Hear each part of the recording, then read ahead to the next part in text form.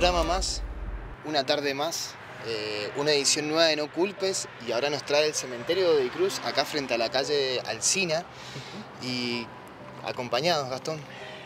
Imagínate una guardia en la comisaría 37, como otras tantísimas, una llamada que llega en plena madrugada dando aviso de un incendio en un puesto de flores. Lo que no sabían los policías que llegaron esa noche a este lugar es que iban a ser protagonistas de uno de los registros y documentos sobre un fenómeno paranormal, espiritual, más importantes, sin lugar a dudas, de la provincia. Mónica, ¿cómo estás? Emocionada. Emocionada. Trae muchos recuerdos. Ya estaba fallecido mi papá. Ellos trabajaban en el puesto número 9. Estamos cerca. ¿Cuántos años estuvieron? Eh, el año 88, que ellos les dieron el permiso para, para abrir el negocio. Eh, era una etapa muy difícil, mi papá estaba sin trabajo, estaba hemipléjico. Lo conocía mucha gente acá en Godecruz, él había sido cartero de toda esta zona de Godecruz. Contanos, Moni, un poquito para ir interiorizándonos, ¿qué pasó? Contanos la historia de la familia para poder llegar al punto de que, qué pasó en este lugar. Eh, bueno, cuando falleció él, mi mamá queda sola, muy, muy mal. Eran muy compañeros, eran compañeros de trabajo de toda la vida, llevan muchos años juntos y, y bueno, pasó esta madrugada, calculamos que fue en agosto, porque no, mi mamá no quiso seguir con la investigación. En la madrugada de agosto, que era para una fiesta del Día del Niño, eh, Año 1997. Mi hermano, eh, tipo 6 de la mañana, siempre le daba una vuelta a mi mamá. Trabajaba acá en, cerca en el Dalvian y entonces venía a tomar mate con ella. Y viniendo para tomar mate con ella se encuentra que había mucha gente, eh, la policía, todavía había bomberos porque salía humo, seguía saliendo humo. ¿En el puesto de acá? En el puesto, pero él no sabía qué puesto era. Entonces deja el auto, camina y se hace paso entre la gente y va derecho a, preguntarle al policía, que era el que más tenía mano. Entonces ahí divisa que era el puesto de mi mamá. Entonces le comenta, al policía le comenta que lo que había pasado, que lo habían llamado, que ellos habían acudido al llamado del 911 por los vecinos, porque esto si vos ves, está linda con los vecinos, las paredes. Y el policía les dice que él toma un testimonio que le cuenta un poco lo que había pasado. Claro, cuando mi hermano pregunta y lo que había sucedido, todo, y le dice el policía, sí, tenemos un testigo ya. Ay, le dice mi hermano, un testigo, sí, dice. Entonces conversando, salga, dice, lo puede llegar, dice, lo conoceremos, dice, será de la zona y le dice el policía, sí, le da los datos, no le da el nombre, pero le dice la descripción. La describe. Estaba enfrente, le dice enfrente del puesto, que vendría a ser para allá, y le dice que era alto, muy canoso, eh, camisa blanca, pantalón negro, dice, y anteojos. Entonces cuando le da toda esa descripción, mi hermano le dice, y al lentes, los anteojos eran ahumados. Sí, le dice el policía ahumado. ¿Usted lo conoce? Le dice. Y le dice mi hermano, por la descripción que me da, dice, perdóname, me estás hablando de mi papá, dice. Su papá, sí, dice eh, Roberto, dice, pero mi papá está fallecido, dice, hace dos años que ha fallecido. Y dice, si querés, dice, te, te llevo apenas abra el cementerio y te muestro. Dice que está enterrado acá, dice, y ves la foto de él, dice. Entonces cuando mi hermano a todo esto va a buscar a mi mamá, no la deja llegar, porque era muy triste, esto era impresionante, estaba todo quemado, no había dejado nada. Eh, hace alusión, dice, a que podía haber sido no, intencional. Le pregunta si tenía problemas con alguien, mi mamá, o, se llevaba mal con alguien. Mi hermano también estaba choqueado por el hecho de que el testigo era mi papá, decía por la descripción. Entonces cuando lo lleva adentro, que ya la deja mi mamá en la casa, le muestra la foto de adentro del cementerio que está y le dice, sí, él, el señor ese es él, dice. Y bueno, quedó en eso y dice, bueno, le pide que lleve a la mamá, a mi mamá, a la comisaría para hacer la exposición y la denuncia.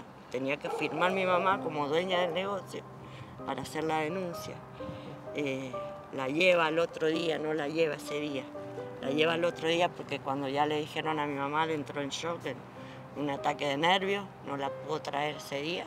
La trajo al otro día y ahí es cuando mi mamá corrobora todo, le cuenta al policía toda la declaración.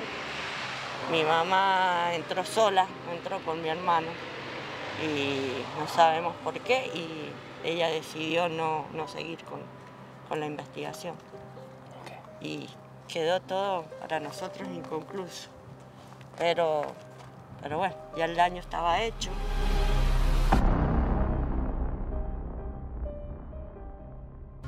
Buenas noches, ¿cómo andan? ¿Cómo están? Bienvenidos a un nuevo capítulo de No Culpes. ¿Cómo están en casa? Espero que estén muy, pero muy bien. Vamos a hablar de esto, de apariciones, ¿sí? Cuando este ser que hace mucho tiempo desapareció de nuestra vida terrenal aparece de una u otra forma y nos preguntamos de qué se trata esto. Bueno, ¿Te sucedió? Comunícate con nosotros. Queremos escuchar tu testimonio. 261-300-1600 es nuestro WhatsApp. Estamos en línea. Queremos leerte porque seguramente te ha ocurrido. Alguno de nosotros que estamos acá nos apareció alguien y dijimos, ¿de qué se trata esto? Bueno, vamos a desarrollarlo en un ratito. Específicamente vamos a hablar de esta historia. Por eso ah, que se abra el señor director, porque vamos a hablar con los especialistas y nos tenemos que meter de lleno en esto, específicamente en apariciones. Gastón Zúñiga, ¿cómo estás? Buenas noches. Hola, ¿cómo te va? Muy bien. Creo que estamos ante, por lo menos desde mi experiencia corta, eh, ante, creo que este puede ser el caso del año, sin lugar a dudas, por lo que implica tener el testimonio en primera persona, no en tercera, como sucede muchas veces, en primera persona que corrobora que este hecho fue cierto, que es real.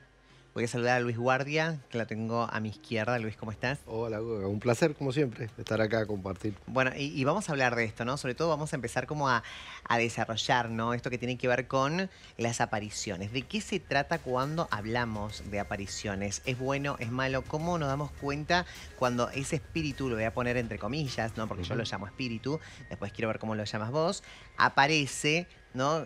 ¿Cómo detectamos si es bueno, si es malo, si su aparición es para ayudarnos, si es para perjudicarnos? si es un ser querido al cual amamos, en este, como es este caso, o es un ser que la verdad no tuvimos mucha empatía en la vida terrenal y aparece. Bueno, vamos a desarrollar todo esto. Con todo gusto. Ahí está, sábado de la noche, sábado de misterios y sobre todo de testimonios, que es lo que vamos a, desarrollar. Por eso tengo a Natalia Barrios, ella es nieta de Rafael Roldán, quien apareció, ¿no? ¿Cómo estás? Bien, un gusto conocerte vos. muchas, gracias, muchas gracias. cero nervios, ¿eh? acá es una charla entre amigas, así que olvídate. Nerviosa, triste y un montón de cosas que te, te pasan, pero bueno, son, como dije yo, son lindas experiencias. Eso, eso es lo que, lo que quiero, quiero escucharte, ¿no? Y quiero que empecemos a, desarrollar, porque después, bueno, nos vamos a meter en distintos, en distintos tópicos, ¿no? De, este tema. Pero quiero. Mm, ¿Vos creías antes en las apariciones? Sí. Sí, siempre creíste. Sí, porque te digo, yo me crié en el puesto de flores con mis abuelos. Y siempre, viste, a alguien pasaba, comentaba, pero como era una nena, viste, no le prestaba mucho. Yo era más feliz de estar con mis abuelos, compartir y todo. Pero nunca me imaginé que pasara esto después de lo que pasó con lo de mi abuelo, un tiempo largo, porque nosotros no lo sabíamos, lo vinimos a saber más de grande cuando apareció esto, de que había aparecido cuando se le incendió el puesto de flores a mi abuela y bueno, lo tomamos bien, o sea, bien en el sentido como que fue como sigue estando y nos sigue protegiendo. Nos sigue protegiendo, qué lindo esto. ¿Vos lo tomás así, como protección? Sí. ¿Sí? Sí. Bien. Eh, ¿Qué significó tu abuelo en la vida de ustedes? ¿Quién era tu abuelo? Mi abuelo, un ser especial, amable, compañero, marido, padre, abuelo. O sea, era de todo. Él siempre estaba con nosotros, eh, o sea, yo la nieta mayor, eh, estaban mis otros hermanos, mis otros primos, pero, viste, siempre manteniendo a la familia unida, en el sentido de que más allá que por ahí la situación económica no estaba bien para algunos, él trataba de ayudarnos o iba de casa en casa a, llevarnos algo, porque él ya venía con su enfermedad y sus cosas, ¿viste? pero siempre unido, él, siempre manteniendo a la familia unida. Y bueno, cuando él ya parte de este mundo, que, que fue para nosotros triste, porque bueno, eh, nunca lo pensamos así, mm, y más joven. ¿De qué falleció? Eh, supuestamente, por lo que me cuenta mi familia, fue de cáncer. Y ya, bueno, ya había venido con varias complicaciones de salud, con algunos infartos y cosas, y como contaba mi mamá, él ya no tenía movilidad en, una- en un brazo, le costaba caminar, le costaba un montón de cosas, pero así todo él avanzaba, o sea, él seguía. Y bueno, cuando él fallece es como que algo que se, se destruyó todo, se, se perdió la familia, se perdió contacto con todo, ya no era la unión de antes, ya no, no, había, no había nada. Entonces como que eso también nos llevó a, a despegarnos un poco de todo. Mira, mi abuela sigue, sigue viva, pero no tenemos mucho contacto. Vamos, estamos, mis tías igual. Tengo tíos que se han tenido que, que ir del país por la situación económica también y, y es algo que no nunca lo imaginamos. Y si él hubiera estado vivo acá en este momento, mis tíos no hubiera seguido esta desunión, hubiéramos seguido más unidos. Vamos a seguir de- desarrollando, ¿no? Pero vamos a, a mostrarte más parte de este informe especial. Seguramente te sucedió en tu casa, seguramente, ¿no? Te sucedió a vos, ¿no? Que nos estás mirando en este momento. Queremos escuchar, mandanos tu mensaje al 261-300-1600. Son testimonio en primera persona. Luego vamos a desarrollar qué pasa con estas almas, con esta energía, con estas apariciones, ¿no? Que se nos presentan. Segunda parte del informe especial.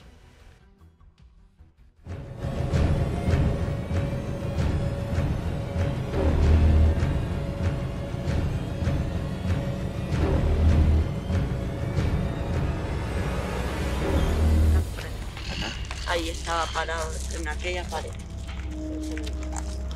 Eran las 3 de la mañana. El- porque buscaban un testigo, alguien que. Entonces se arrima, porque lo veían solo, se arrima el policía y le pregunta si él había visto algo. Y entonces él le contesta que sí, que él sabía quién lo había quemado, quién había hecho el daño. Y le da el nombre, le da una dirección de domicilio, ¿viste? le da la dirección de donde después el policía nos cuenta que fueron a la dirección y no encontraron a nadie. El puesto que se quema es solamente el de ustedes. Solamente, solamente el daño se lo hizo a la vecina que le quemó la, me- la media sombra que tenía. Tenía una media sombra y eso se le prendió fuego. Ella asustada es la que llamó al 911. Te juro que tengo, no, no sé si esto ha cambiado algo, pero Sí, tengo la idea de alguien apoyado con las piernas cruzadas y un diario en la mano, ahí enfrente. un diario o una carterita. Eh, bueno, la que está hablando es la mm, sería la hija, ¿no? De la persona que le apareció. Acá tenemos a la nieta, ¿no? Eh, me imagino que es muy fuerte, tanto para tu mamá como para vos, eh, hablar de esto. Y sobre todo te veo en tus ojos y en tu mirada que fue un ser muy importante porque te conmueve. Exacto, es como te digo yo, yo siempre fui para, para darme cuenta en este momento, en el ahora, lo que él prácticamente era para nosotros. Era, era algo hermoso, pero fantástico porque más allá de todo nos enseñaba a comportarnos, a llevarnos, a, a que no nos peleáramos entre hermanos ni entre primos, ¿viste? Siempre eso nos enseñaba cosas buenas. Pero yo te digo, desde chica, desde que me empezaron a llevar al puesto de flores, yo era feliz de la vida. Feliz. Había una energía especial. Feliz había de la vida, distinto. feliz de la vida porque me pasaba a buscar a mi casa y me llevó la nena y yo feliz de ir a la casa de mis abuelos y estar y vamos que vamos al puesto de flores y yo era adoración. Adoración por él porque podía compartir con ellos. Más allá que también tenía mis otros abuelos, pero mis abuelos maternos fueron más, a- más especial. O sea, siempre me dieron mucho más. Bueno, pero como le digo yo a mi mamá, el día que yo vi la historia y que saltó, saltó todo esto, como que medio que no, que no creíamos que íbamos, que íbamos a pasar después de casi 29 años de encontrar esta historia de mi abuelo, porque nunca. Nunca. Gastón, ¿cómo llega esta historia a tus manos? ¿Cómo se la traslada a la producción? ¿Cómo la empiezan a desarrollar? Bueno, eh, te, te- te voy a poner un ejemplo. eh, Viste que hay muchos videos que se viralizan de un guardia de seguridad hablando con alguien que después él afirma haber estado hablando con Ujú. alguien, pero las cámaras no captan a nadie, Ujú. es este caso. A mí me llega, yo tengo un pequeño segmento en mis redes que es Relatos para no dormir, donde alguien a través de un audio de WhatsApp cuenta una historia. Ujú. Le mandamos un beso a Sara, que gracias a ella accedimos a esta historia. Besos. Sara. Ella es una policía retirada de, Ujú. de- de la provincia, donde cuenta esta historia, ¿no? Sí. Dice, un compañero una noche asiste a un incendio, lo que conocemos de la historia. Yo publico ¿no? la historia y revisando los mensajes me encuentro con el mensaje de Nati. Yo la verdad muchas veces sucede que a alguna familia puede que no le guste que se dé a conocer su historia y piden que bajemos el, el video, pero en este caso no, ellos estaban muy contentos porque esto que acaba de decir, ¿no? después de casi 30 años se conozca la historia y yo creo que por algo es, no ha sido casualidad, fue muy cerca de, su, de la fecha de fallecimiento de él, que se viraliza este video con más de 500.000 reproducciones en las redes, entonces eh, e- es- ella lo describe como alguien protector, alguien que estaba pendiente de cada una de las necesidades. Y acá está un poco lo que yo creo del otro plano, la otra dimensión de parte de nuestra evolución.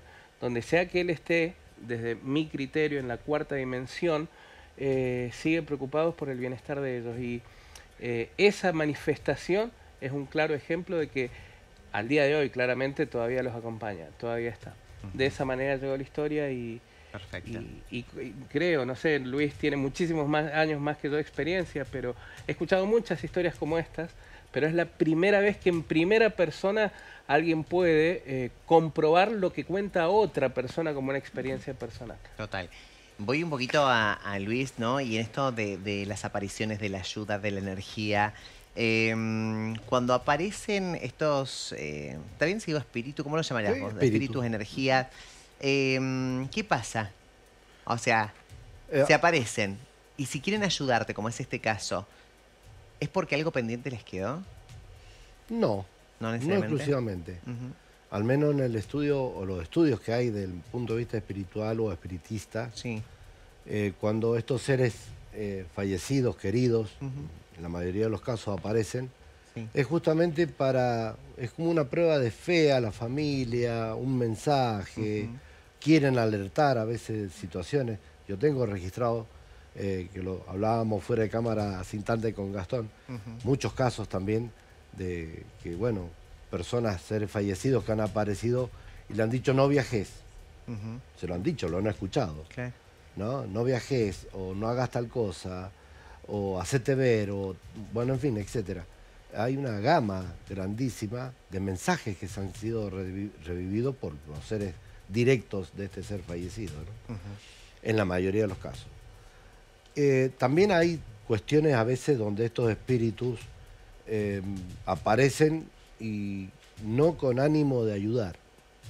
¿Está bien? O sea, Sí. sino como que quieren imponer algo o decir algo que no han concluido, que no han terminado, o que está la familia o el ser Claro. eh, tiene que hacer. eh, como una orden, ¿no? Em, eh, vienen ya con otro mensaje. Sí, siempre cuando hablamos de, de- de estos casos, o al menos tengo memoria, eh, era hablar de que algo pendiente quedó, ¿no? En la persona. pendiente. Entonces aparecían Sí. o para ayudarte, o en el caso de, de si se complicó en la vida terrenal, como para complicarte un poco, pero siempre aparecían con un propósito, Sí, digamos. siempre, siempre En este caso, evidentemente, el propósito es ayudarlos, en ese caso, estar más cerca de su familia, que siga la unión por el relato, obviamente, que estamos escuchando de... Total, aparte de la De forma en que ella lo describió, un ser extraordinario. un ser- me hizo acordar mucho a mi papá. Yo tuve la dicha de tener un padre extraordinario y extraordinario.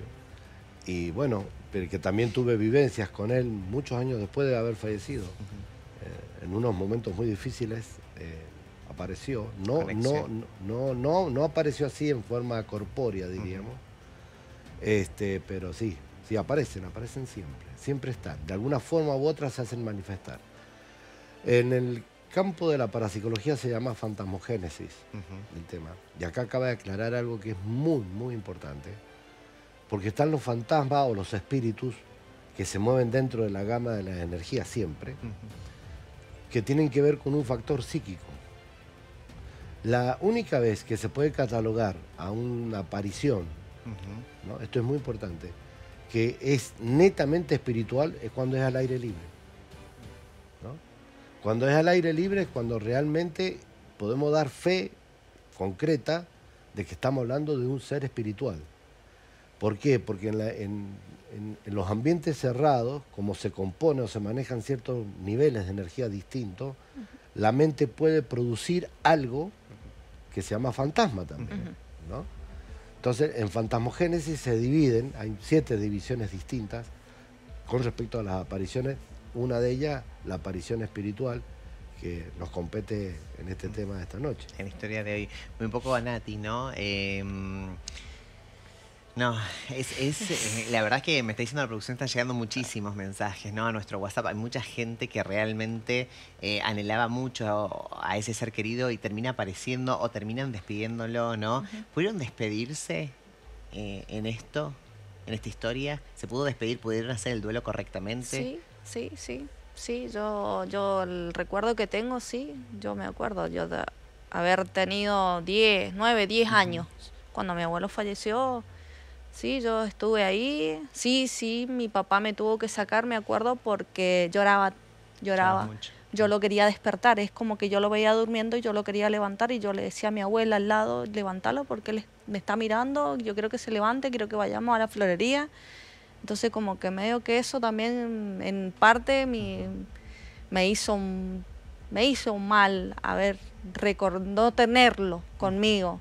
Ir a la casa de mi abuela y ver eh, su lugar vacío de la mesa o entrar a la habitación y ver donde él dormía y, y- o el armario o el placar que estaba ordenando ropa mi abuela y ver que sus camisas, sus zapatos, sus pantalones no estaban, era como que Claro, fuerte. te hacía, te hacía sentir mal. Y imagínate yo en ese tiempo no poder ayudarle a mi abuela o preguntarle qué te pasa, estás bien. Ella chica. en el sentido, ajá, porque yo no entendía tampoco. Eh, el duelo de ella, a veces que iba a trabajar, a veces que no, por ahí yo me iba a quedar con ella los fines de semana, por ahí íbamos todos a la casa de ella, a quedarnos con ella, pero ya no era lo mismo. O sea, eh, algo nos faltaba. Y era el Pero- calor del hogar, el, el- el- el- la, la cabeza de el familia. centro, claro. La cabeza de la familia faltaba. Entonces, Mira qué, qué interesante lo que acaba de decir Luis y cómo lo podemos ejemplificar. Ella dice, veía sus camisas, veía su lugar vacío y está esto que decía Luis, si es en un ambiente cerrado, todo esto nos puede llevar a imaginarnos o que un recuerdo nos juegue una mala pasada e interpretarlo como una manifestación espectral. Lo que no sucede eh, en un ambiente abierto, como decía Luis, que a vos te pasó algo particular, contabas fuera de aire, que él te llama y que te acompaña, ¿no? Sí, Eh, antes de que yo viera el video y que pasara todo esto, yo ya lo había soñado. Yo ya lo había soñado. Eh, yo trabajo en un restaurante en Fray Luz Beltrán, a unas cuadras de mi casa. Yo, en el sueño, yo venía con mi mochila, el trabajo, todo. Y justo enfrente de la plaza, que yo vivo enfrente de la plaza de Beltrán, veía una persona parada. Entonces, bueno, cuando ya me voy acercando a mi casa, veo que era mi abuelo. Entonces me decía nena y se señalaba como que era tarde, que qué hacía yo tan tarde en la calle que tenía que irme a comer que la comida. Y yo a todo esto noción de que él no estaba, o sea, que él estaba fallecido, que qué hacía él.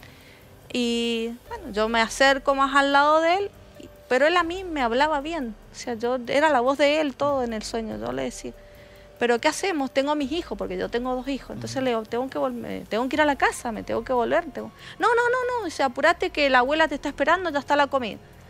Entonces, bueno, fui, íbamos caminando y como que sentí una, una brisa, Wow. un calor. Y íbamos por la plaza y era como que íbamos caminando y era una luz que se abría con él. Y me decía, el quédate tranquila que ya vamos a la casa, dice. Y ahí como que yo me desperté y empecé a llorar.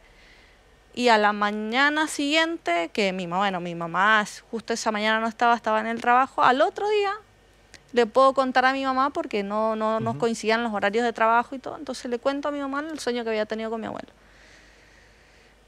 Y, y me quedé sorprendida porque, a ver, era muy, era muy, muy cuidadoso con nosotros, en todos sentidos. Siempre a mi mamá antes de fallecer en el hospital, siempre le decía cuidar a las nenas, cuidar a los chicos, cuidar esto, cuidar aquello. Entonces como que medio, eso fue también Chocante sí, en un punto. Pero me llamó mucho la atención cuando yo iba caminando porque yo lo tenía, él me abrazaba en el sueño, él me abrazaba y me llevaba caminando a donde O teníamos sea, que era un sueño lúcido, lo sentías. Era Claro. un sueño vívido. lo- Claro. Lo sentías. Entonces como que fue, bueno, Perfecto. no, Ahí vuelvo a vos porque Sí. tengo que presentar la tercera parte del informe especial, ¿no? Y seguimos acá debatiendo, seguimos escuchando. Así que te seguimos escuchando a vos. Así que dale, conectate con nosotros a nuestro WhatsApp 261-300-1600.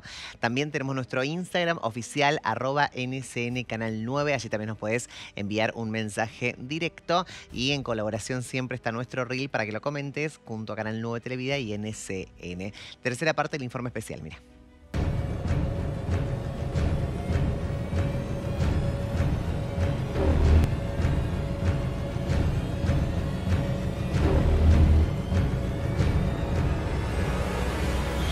Imagino que tantos años trabajando acá alrededor del cementerio, en el cementerio, las historias son muchas. Much- muchísimo.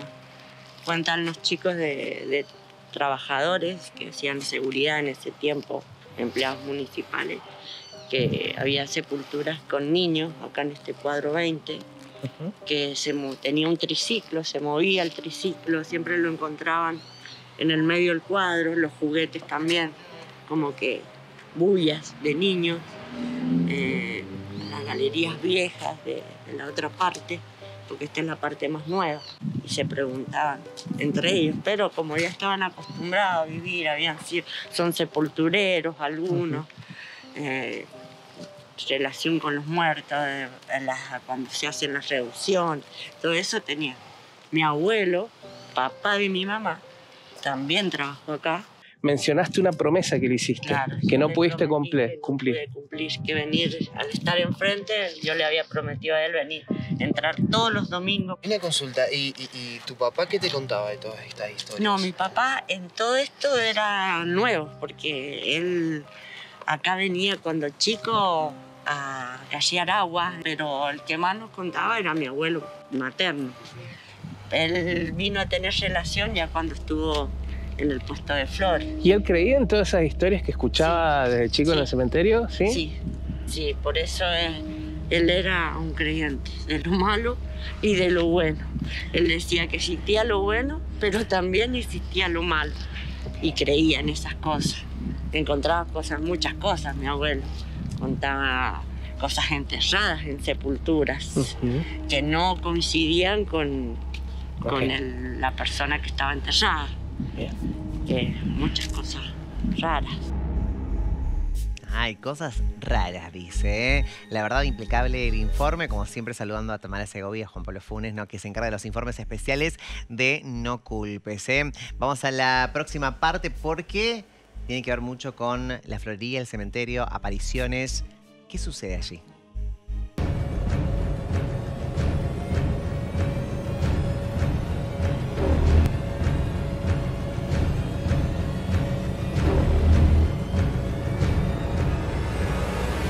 ¿Cómo era tu papá?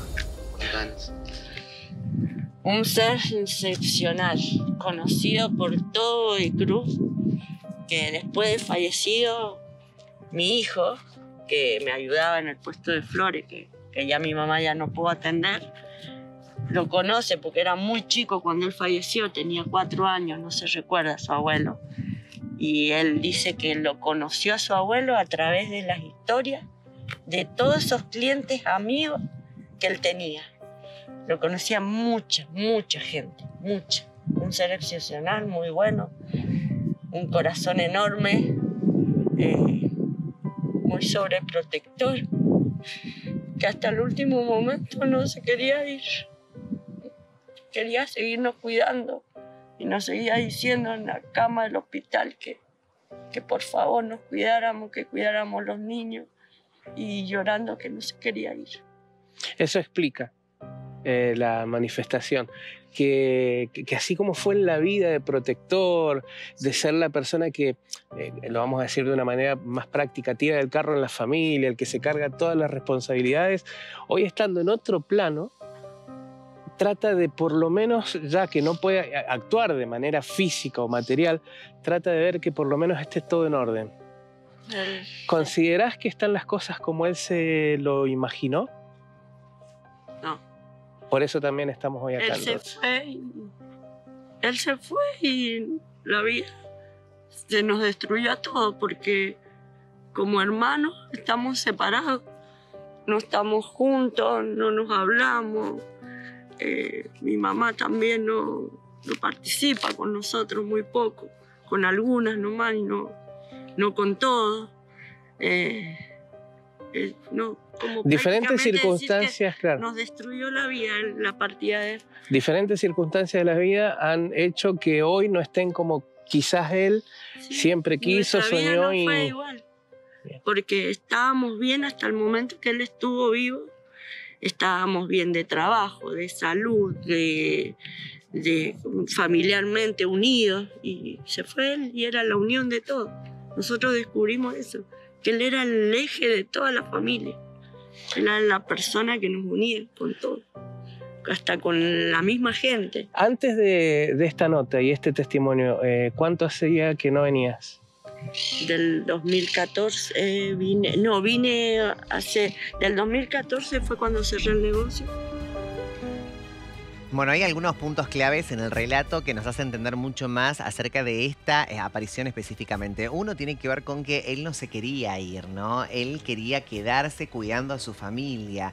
Y el segundo punto, cuando él ya no está, todo empieza como a destruirse, su familia, ¿no? Y el bienestar de su familia.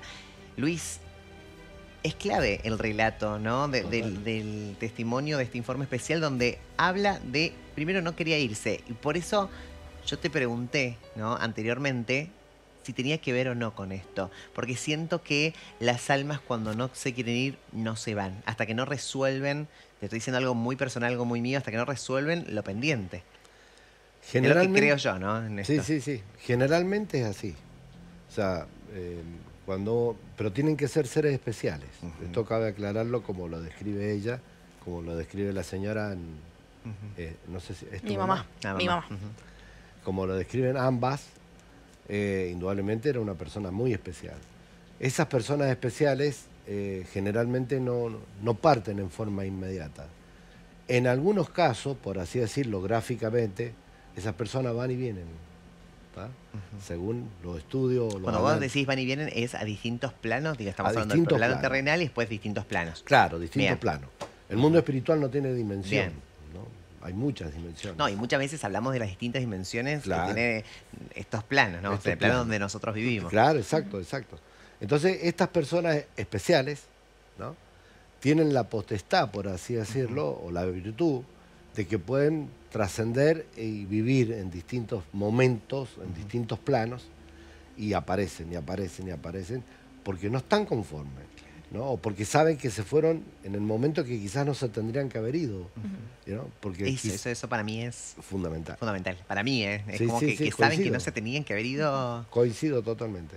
Porque cuando una persona, eh, em, hay, hay registros antiquísimos, muy antiguos, de, que, de seres que han ido apareciendo, no solamente acá, en el mundo entero, que realmente siguen apareciendo, siguen apareciendo porque hay una parte que no se terminó para ellos.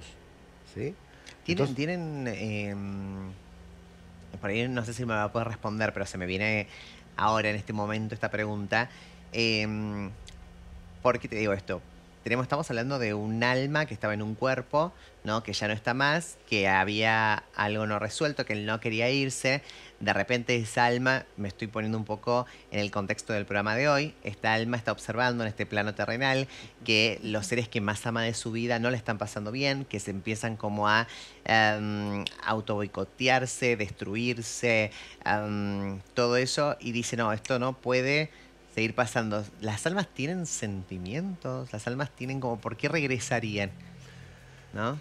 A ver. Una pregunta muy, perdón, eh, yo No, sé que es por confusa, favor. pero se me viene a la cabeza, digo, si, si yo me voy en una situación donde no me quiero ir, pero sé que mi familia está bien, pero después en algún momento tengo que ver que esta situación ya no está bien, ¿no? Exacto. Es decir, que esta familia que yo dejé no es la familia. Claro. Y si ellos lo evocan, quizás como, como eso fue Ah. A lo mejor ellos inconscientemente, Luis nos va a desasnar a, Eso, lo- a- sí, a muy bien, los muy dos bien lo que diciendo, sí, sí, muy Porque bien. digo, eh, cuando uno está acostumbrado a tener la solución en una tercera persona, más Claro. allá del vínculo, abuelo, papá, eh, marido, lo que Total. sea, creo que también una manera inconsciente de evocar esa solución y las manifestaciones marcándonos quizás un camino, ¿no? Bueno, a ver. ¿Cuántas preguntas, ¿Cuál? Luis, te Sí, no, hicimos? no, no, ¿Cuántas? No, Pero no, bueno, uno entra en dudas. No, por supuesto. Para eso estamos. Eh, a ver, acá vamos a hacer una diferencia Sí. muy tajante Sí, para no confundirse. Una cosa es el alma y otra cosa es el espíritu. Bien, ¿está? bien. El alma, obviamente, para los creyentes de cualquier religión, es de Dios. O sea, esa es la parte, el aliento de vida propio, la energía propia de Dios. Lo que queda en, el- en- estos planos, por así decirlo, es la parte espiritual. Y gran parte de esa formación espiritual, gran parte de esa energía, tiene, está impregnada de la memoria que tuvo en su vida, ¿no? o de su última vida, por así decirlo. ¿no? Entonces, ¿qué pasa? Eh, están, recurren o son, aparecen porque quieren dar ese mensaje, ¿no? les cuesta despegarse del mundo espiritual. El alma ya partió, ya se fue. Claro. Lo que queda es el espíritu, con la memoria de su vida terrenal, en gran parte. Ah, con la memoria. Claro, pero no totalmente. Sí, sí, en gran parte. totalmente. Quedan rasgos de esa memoria, de esas Ajá. emociones, y más cuando han sido seres muy eh, emocionales, muy cariñosos, muy, Bien. de dar mucho amor. Eh, esos seres eh, no es que sufren, ojo, pero sí ven y pueden sentir en alguna medida, no se sabe cuál, sinceramente, pero sí pueden sentir lo que está, o ver lo que está sucediendo. Por eso aparecen, o quieren dar mensaje, o ven, o, o se- en el caso de la familia que bien ella describe y su mamá, que la familia se separó, se cambió, en fin, etcétera.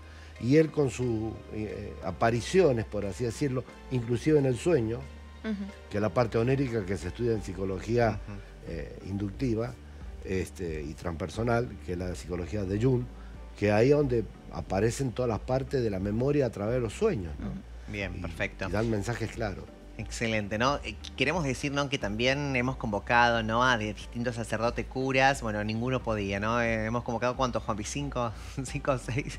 Cinco, seis. Así que si ustedes conocen un cura piola, el párroco del, del barrio, nos mandan el mensaje en 261-300 y 600 porque están todos ocupados. Yo no sé por qué están todos ocupados, pero también queríamos ver la versión, obviamente, de la iglesia, la versión, obviamente, de, de lo que tiene que ver con el, el alma, ¿no? Dios y, y todo esto, ¿no? Hay que decir que también convocamos, porque si no por ahí llegan mensajes, ¿por qué no habla también un cura? Bueno, también fueron convocados, ¿no? Eh, vamos a la última parte del informe especial.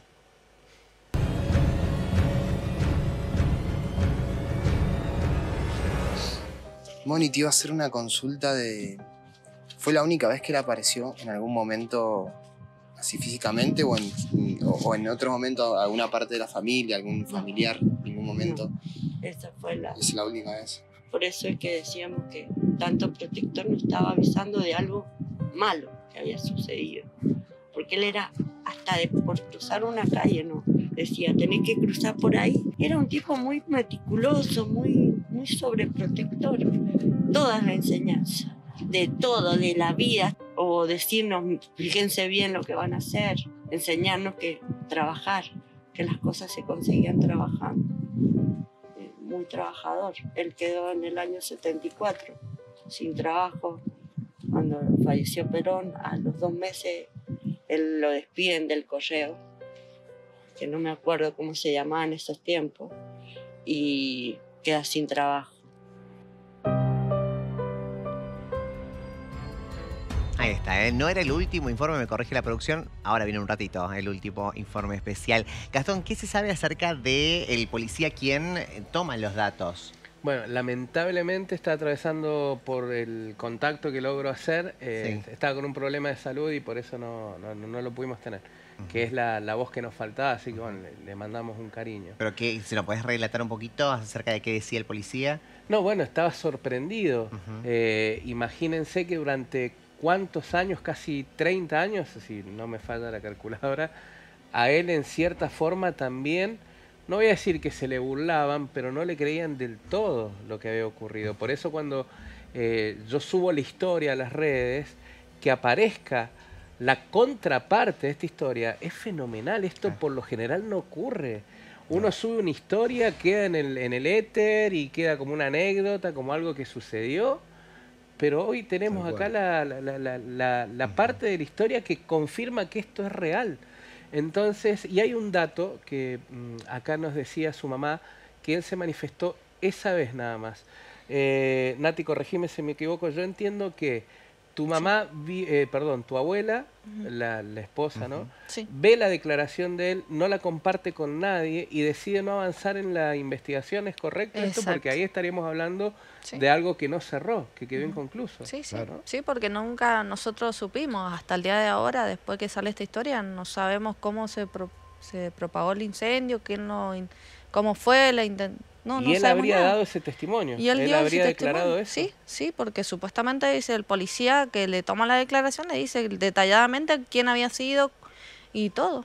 Excelente. Entonces no, no, y después que mi abuela va a hacer la, a firmar la declaración, que ya se entera que, que había sido mi abuelo el que había aparecido, que esto, como que quedó inconcluso porque no siguió, la- no se siguió la investigación y quedó todo en la nada. O sea, no- Ella no- sí llegó a ver la, la declaración. Sí. Ella sí. Sí, por eso quedó todo en la nada y hasta el día de hoy nos preguntamos qué pasó. Claro, ¿qué pasó? Ahora sí, la última parte llega, claro, acá no culpes. A ver.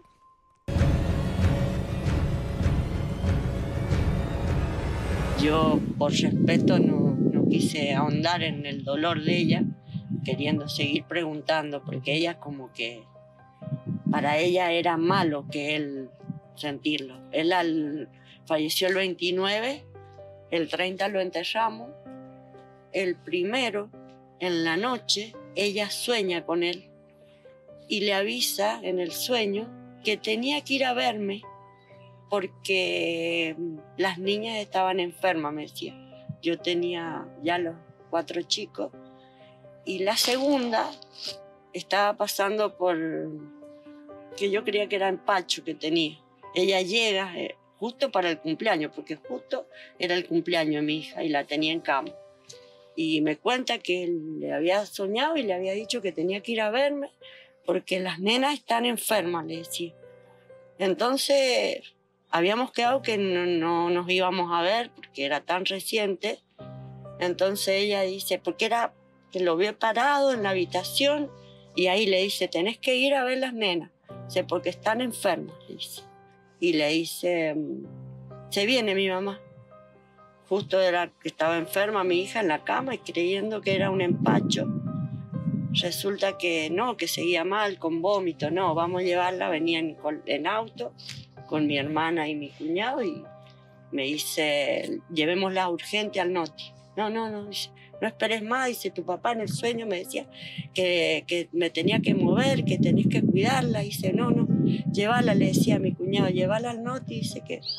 Y mi hija llegó al noti y de urgencia entró a la sala de operación porque tenía una apendicitis aguda que si yo no hubiera llegado a tiempo en ese momento, mi hija se complicaba. Y bueno, y ahí entendí también, fue ese momento, entendí que los dolores eran diferentes. Un papá al de una hija. Porque verla en la, en la camilla tan chiquita, siete años, y toda desnudita, de hecho, a la sala de operaciones, cuando fui a licitar el negocio, cuando se- to- todos los puestos se fueron a licitación es como que eh, eran tantas cosas que me había enseñado a tener que hacer cuentas, porque mi mamá no quiso seguir con los libros de contabilidad y todo eso. Eh, entonces al ver eso es como que él me decía las, de tantas enseñanzas, tenés que calcular lo que vendés. O sea que siempre lo sentiste con vos, en Sí, distintos momentos. Sí, ¿no? en algún momento llegué a... eh, estaba tan mal, depresiva, porque más allá que él no me dejaba venir a ayudarlo en los momentos de fiesta del cementerio, eh, era mucho lo que él estaba con nosotros. Él era salir del cementerio, él se iba con su manito, pero en la que tenía buena se llevaba un tallo de 20 litros, con docenas de huevos, naranja, y como mi hermano lo venía a ayudar, que era chico, una dama juana de jugo, que la repartía Mi papá se llamaba Rafael Roberto Roldán. Él eh, falleció en el año 95. 95, el 29 de abril de 1995. Y dos años después se manifestó En, ante la, la vista de un policía que está eh, tomando la, la- la denuncia sobre un incendio en el, en en el el puesto, de Flores. de Ustedes. que había sido, trabajaba él y mi mamá. Totalmente presente. Demasiado. Por eso nos llega tanto, por eso lo extrañamos. Con nosotros súper protector. Y con tus hermanos, Todo, ¿Cómo con todo igual. Mi papá era un papá, éramos cinco hermanos, cuatro mujeres y un hermano. Acá si me preguntás si mi papá tenía una preferencia, no. Mi papá había cinco hijos y se partía en cinco. ¿Y tus hermanos cómo quedaron con la relación de esta historia? ¿Qué pensaron después de ese...? Eh, no te puedo decir bien. Mi hermano, el que más contacto tuvo con el policía y que habló y que la transportaba a mi mamá para todos lados, eh, él creía, sí, era seguro que era él y, y quedó bien. ¿no? No- nosotros no, tenemos, no teníamos miedo, nada. La que quedó reacia que seguir la investigación y que supiéramos todo es mi mamá. Y mis hermanas, bueno, ya había mi mamá, ya había pasado por una situación en ese entre- transcurso de esos dos años, eh, un robo, eh, le tiraban agua a algunos floristas de los otros puestos y es como que la protegían, porque ellas sí venían a ayudarle a ellos cuando las fiestas. Estaban, no creían, creían que la gente mala había hecho ese daño. Una gente mala había hecho eso, pero mi mamá no quiso ahondar en todo eso.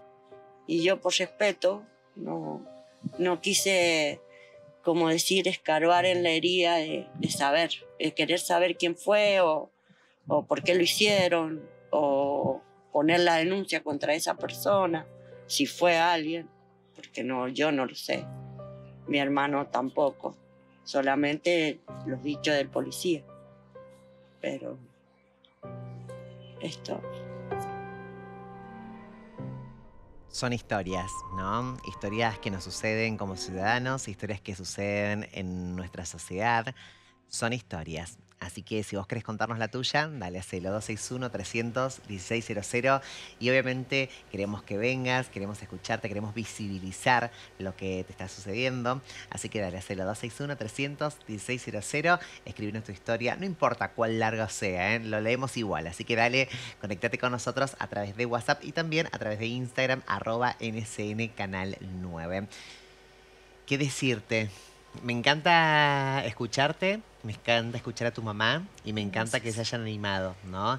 Eh, todo esto es difícil, ¿no? Porque no es fácil venir a un programa de televisión, contar su historia, pero yo siempre les digo algo, estás ayudando a muchísima gente que se anime también a contar su historia. Mm, Y si aparecen es porque algo nos quieren decir estos seres queridos, tanto que amamos en esta vida terrenal. Exacto. Sí, yo, como te dije, yo mm, lo que me, me llamó la atención eh, cuando vi el video fue el día 20 de abril, ¿no es cierto? Bueno, yo miro capítulo 9. ujú. Digo, el puesto de, de Flores, el puesto 9.